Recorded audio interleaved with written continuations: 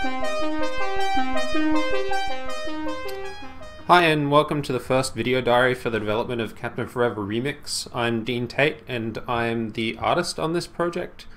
Uh, we're going to be recording one of these videos each week uh, throughout development. It's still early days right now, so I'm going to show you what we have. Um, so our goals right now on the project are to uh, build something that very closely resembles all of the different pieces of the original Captain Forever and Captain Successor uh, before we start to sort of deviate from that original design and add things to it. Um, so what you're seeing here is the first bunch of features that we've implemented. Um, first up, we of course have basic ship construction. You can move pieces around, stick them onto your ship, take them off of your ship.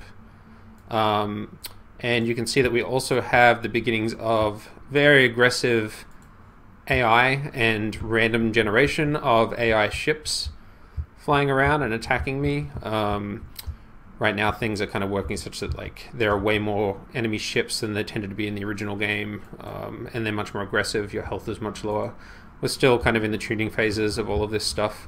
We've also got very basic uh, background tech working. You can see some of the kind of glow in the dark sticker backgrounds that we have floating around there. Um, yeah, so that's where we're at. Still very early days. Uh, we'll be posting one of these videos each week. And you can follow development of the game here by subscribing on YouTube. You can also follow us on Tumblr or on Facebook or on Twitter. Uh, links to all those things are at the end of this video and down in the comment section. Thanks a lot for watching. We'll see you next week.